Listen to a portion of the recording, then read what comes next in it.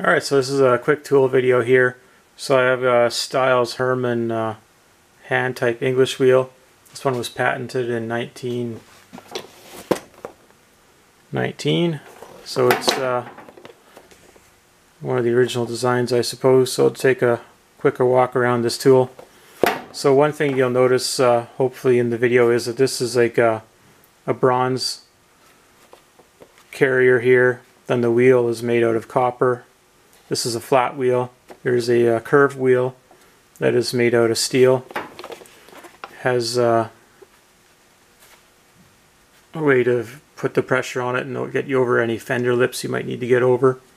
There's a bit of play. The wheel slides back and forth on the shaft on both ends. I'm not sure if that's significant or not. So we have three and a quarter inches to the outside wheel,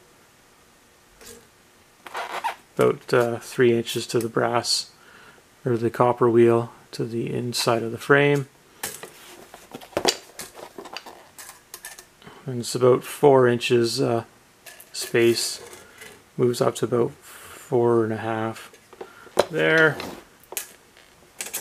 The flat wheel is just a touch over one inch wide. I'd say it's an inch and a sixteenth. The narrow wheel is about, what is that? A sixteenth over three quarters. You think I could do the math, but I haven't done this in advance. Then uh, it opens one inch to get you over a fender lip. I'm going to take the diameter of the wheels.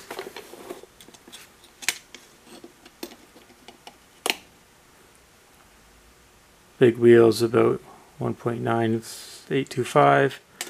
Small wheel is about 1.591. So I think it would be pretty easy to make these again if there was a big demand in the market. I don't know if there is or not. Because reality is uh, two castings, a bolt, and uh, a couple wheels you could probably cut out with a lathe. So if there's any significant interest in that, let me know. I might investigate uh, seeing what it would cost to reproduce these. There's a bigger version of this that uh, I don't know if it's twice the size or not. I haven't got one of those yet. I may or may not go after it.